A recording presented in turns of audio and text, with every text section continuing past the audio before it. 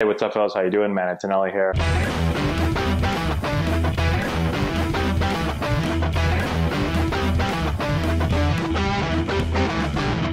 Hey, what's going on, everyone? How we doing? Matt Antonelli here.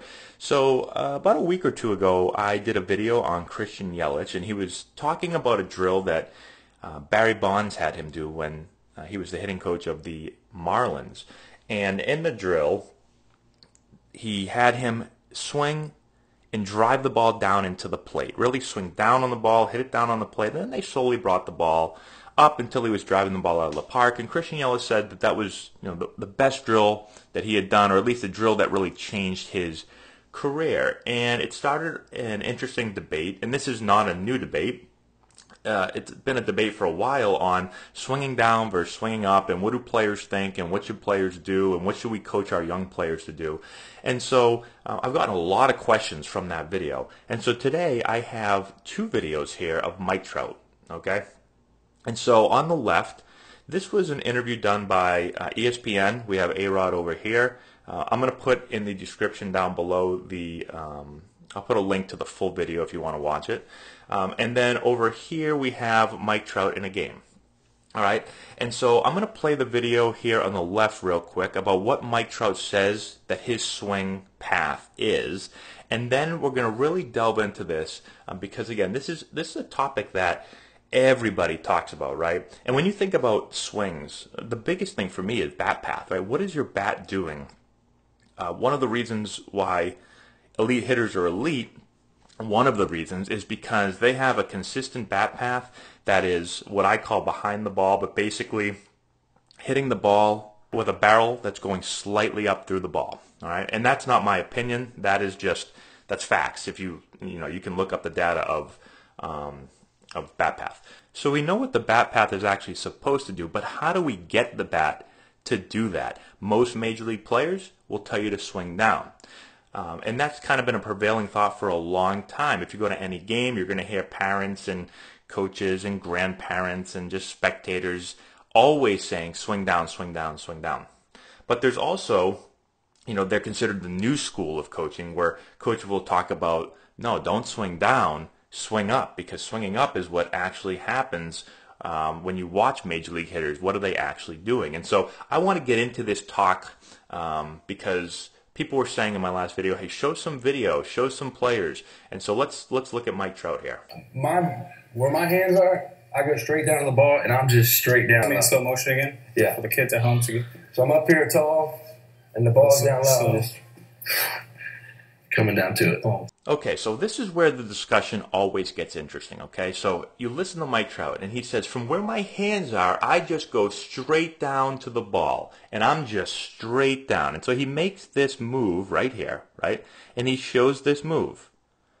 Okay, now, this is obviously not the move that he makes, right? And we've talked a lot before about feel versus real and what does the player feel like he's doing and it's not always what he's really doing, right? Feel and real are never the same. And so that is part of it. But there's there's more than just saying, well, he feels like he's like he's doing that, right? Um, let's look at what he's actually doing. And I want to I really want to try to get in depth on this, okay? So here's Trout, and this is his actual swing right here. Now, you're going to see the first move, right? And let's let's watch let's watch the knob of the bat. All right, let's focus on the knob of the bat. For me, the knob is going to control this barrel, and so what the knob does, the barrel will do. So, for instance, if the knob were to do what is happening here, if the knob were to go straight down to the ball, well, then the barrel is going to go straight down. Right, the barrel's always going to follow the knob, and so if the knob goes down, the barrel's going to go down. If the knob goes up, the barrel is going to go up. Okay, so keep that in mind. So let's just kind of look at the knob of the bat right here. So his first move, there's no debating this, right? Let me put the dot right here again. There is no debating this, that that knob is going down, right? Okay. So it's going down. Let's see if I can kind of trace it out here as we continue to go down, right? So now here, we've continued to go down, correct? So he's swinging down. And he clearly feels this. He feels this part of the swing more than any other part because he says, and most major leaguers say, you got to swing down, right? Okay. Now, what are we noticing now? Now, so the knob, so here we go. So the knob went down, right? And the barrel went down. But now something interesting is happening. The knob is no longer going down now. The knob is turning up, right? So it's down. Now the knob, you can see it right here, right? So it, it's pretty steep right here. But now all of a sudden the knob is starting to turn. And now the knob is going up. So this is where the, the debate comes in, okay? Because and actually, before I say that, now watch. This barrel, right? There's no debating. This barrel is up into this ball. So what do we have? We have a knob going down. We have a knob going up. We have a barrel going down. We have a barrel going up. All right, so now a player asks, Coach, what are my hands supposed to do? What's my knob supposed to do? What's my barrel supposed to do? Right? Well, Mike Trout, if you ask Mike Trout, he's going to say, because he just said it, I'm just straight down to the ball. Okay? So that's what he feels. And I've talked about this a lot. A lot of hitters, a lot of hitters will say, swing down on the ball. I heard that all the time. Just drop the bat head on the ball. Just swing down on the ball right? And so you hear a lot of players saying that. Now, why are they saying that? Well, one, because they they might feel that, right? And, and my guess is, if a lot of players say it, they probably feel it. Um, why else? Well, swinging down has always kind of been, especially if you look back, and this is why people that coached longer ago than, than recently, right? So let's go back 10 or even 20 or 30 or 40 years ago most people talked about swinging down. I would say 90 plus percent would say swing down, right? Now, Ted Williams, he was kind of back in the day talking about how you've got to swing up on the ball, right? He talked about that a lot. But I, again, I would say the prevailing thought was swing down. So maybe major league players, they've heard that for so long, swing down, swing down, swing down, swing down, that, that that's just programmed in their mind. And even though their barrel turns up, they still say, no, I'm swinging down. And so that's what they, they say, right? So regardless, this thought of swinging down, right, this beginning part, is what a lot of players talk about. But here's my here's here's my thought. So the player asks again, how do I what do I do? What's my knob or hands or barrel supposed to do? So if I say swing down to a player, right? A lot of people will say, yeah, that's that's what happens. Swing down right? But there's going to be a crowd of people that say, no, it's not swing down. It's actually swing up. Is that person right? Is it actually swing up? Well, yeah, I guess technically it is right here, right? But what about here?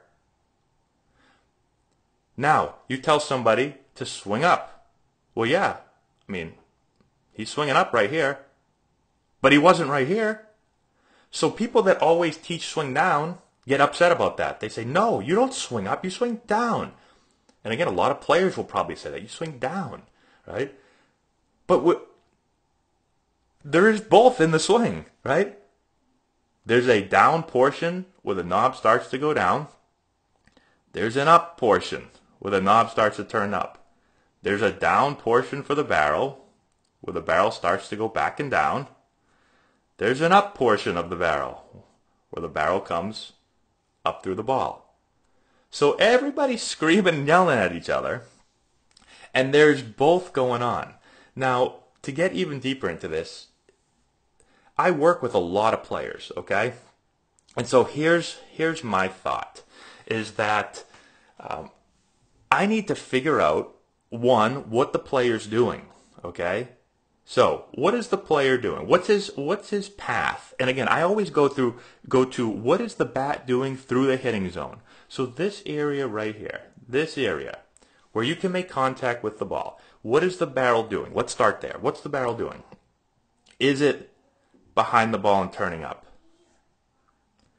if it's turning up behind the ball and getting on plane with the pitch, which again, data will show us that's what the best hitters do.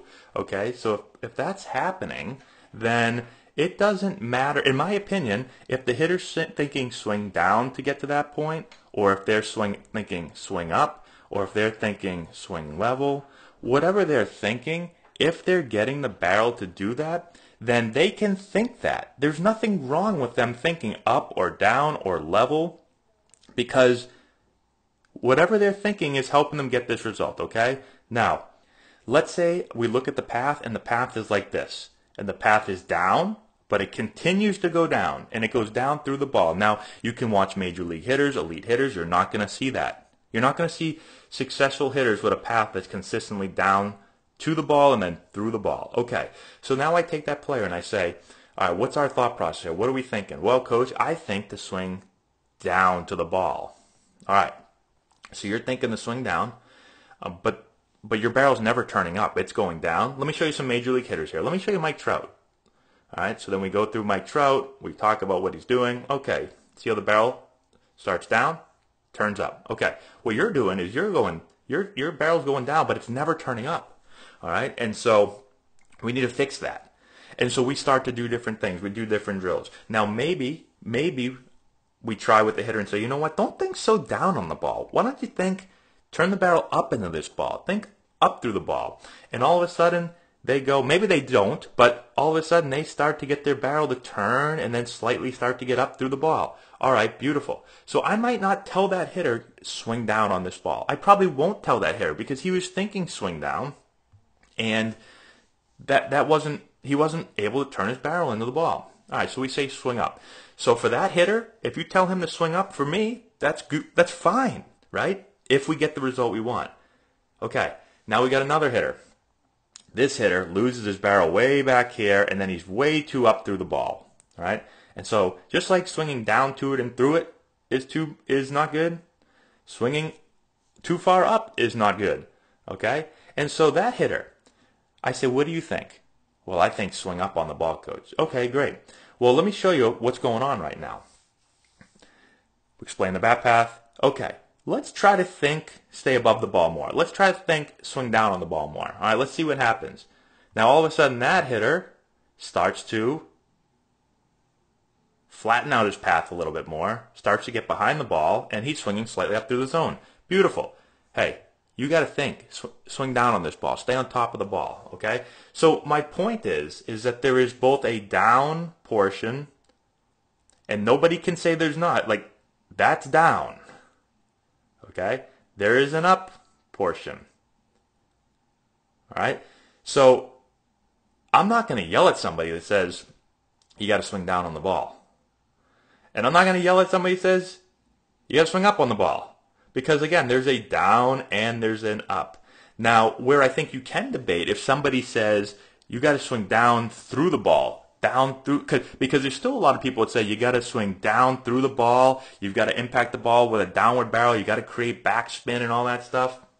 Like, for me, that that is proven that that doesn't happen. Hitters don't hit down on the ball, down through the ball to create backspin, right? And you don't have to listen to me. You can go online on Google and type it in, and you can start to figure out what a bat path is doing through the zone. Okay, so that would be something that I would say, okay, I don't agree with that, and this is the reason. This is the reason why. And same thing with swinging up. If a if a coach is like, no, you've got to swing, you know, you've got to be like this through through the hitting area, and I see some kids doing that. For me, that's not right either. Right, so we can talk about that. But the whole swing down, swing up thing, there's a lot of nuance that that is there. And so I think there's more than just yelling at somebody when someone hears somebody say swing up and they go, no, you don't know what you're talking about. It's swing down or vice versa. There's a, there's a lot more detail than that. The last thing I will say, Mike Trout and a lot of other major leaguers that, that think this, and they may actually think that they do this. And again, that's okay as long as this feeling and this thought produces this. So where the, where he would be in trouble, whoops, where he would be in trouble is if this thought of down, right? This thing, this part of the swing right here that he really feels. If this never did that, if this continued to do this and actually did that in a game, he'd be he'd be in trouble, right? And so down is fine and down will probably keep you shorter, tighter, more compact, but again, you've got to get to this point where you start to turn the barrel up and you start to get palm up, palm down. And the knob starts to turn up, right? And there's there's other things that go into it as well, but this has got to happen. And if this happens, well then absolutely you can swing down. Where sometimes, you know, sometimes where I get nervous when you when players show this is that I've seen a lot of kids. So like when this video first comes out, any of these videos, you know, when Mike Trout or Christian Yelich or any of these great players demonstrate this stuff, you know, I work with a ton of kids. And so those kids a lot of times will see this and they'll say, you know, they'll come in and they'll say, hey, coach, did you see the Mike Trout video? And I'll say, yeah, I saw the video. And they said, did you see how he swings down or he does this or does that or whatever? And I say, yeah. And so some kids will then see this and they'll try to do this and they'll swing down like this and they'll just keep going down through the ball and then they're not get they can't hit like that obviously right and so that's the only part sometimes not i don't even want to say so much i get nervous but then that's where i have to say okay listen and then i'll, talk about a lot of the things that we just talked about in this video right and so um, it's important. You can feel this and you can do this. You can do this. And again, the move he showed, this move right here isn't actually, this move never happens, but him feeling this is, it's this, right?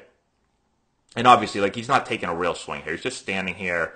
And so, um, you know, it's going to, it's going to look a little bit different with the upper body. But regardless, when he does this or thinks to do this in a game and it does this, but then it turns up into the ball, then that's great.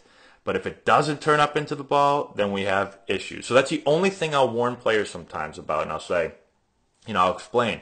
That's his feel. He feels down to the ball. Why does he feel down to the ball? Because of this move right here, because the knob actually does start down. The barrel starts backing down like this. But it's really important that we do some of these other parts of the swing. Again, all of our videos, if you haven't seen our videos, just go check out our other videos. We talk about the other parts of the swing.